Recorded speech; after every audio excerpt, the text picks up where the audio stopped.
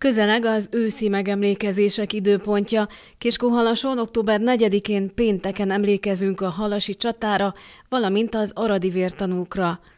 Az 1703. októberében lezajlott Kuruc-Labanc ütközetre emlékező városi program október 4-én 16 órakor kezdődik a búsuló Kuruc szobornál. A Sziledáron gimnázium diákjai adnak műsort, beszédet mond Kocsisné Varga Zsuzsanna, a Torma János Múzeum igazgatója. A megemlékezést követően koszorúk, mécsesek elhelyezésére lesz lehetőség.